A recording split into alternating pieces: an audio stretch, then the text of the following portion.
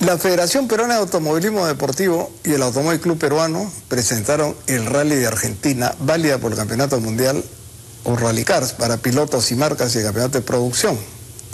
La competencia, ustedes que saben ya que se desarrollará en la provincia de Córdoba, en Vía Carlos Paz, del jueves 26 al domingo 29 de, de abril. Auto TV Perú y Auto 2012, por supuesto, lo seguiremos ahí junto a Nicolás Fuchs, que estará participando en nuestra carta peruana en el Rally Mundial de la Argentina. Amigos, eso ha sido todo por hoy día. Y no se olviden nuestra página web Auto TV Perú. Y por, síganos por favor en Facebook